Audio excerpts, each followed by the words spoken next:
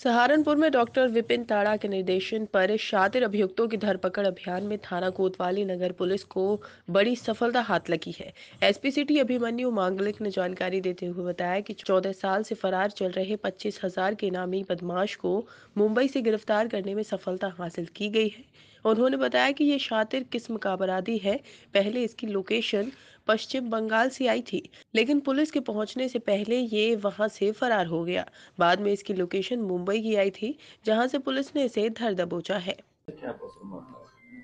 कोतवाली नगर सहारनपुर पुलिस की टीम ने एक इनामी पच्चीस हज़ार रुपये का इनामी पटना सावंत को गिरफ़्तार किया है। ये गिरफ्तारी महाराष्ट्र पालगढ़ ज़िले से हुई है।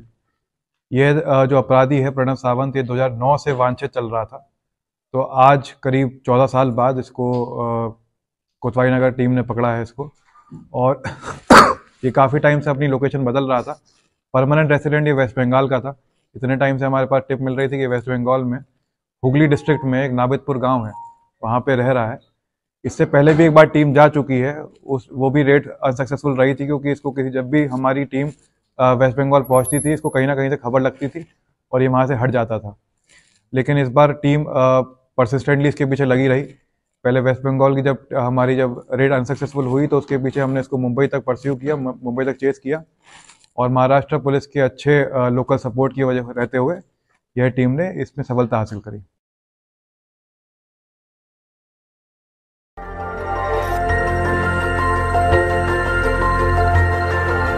देखते रहिए डीवी भारती समाचार नज़र हर खबर पर।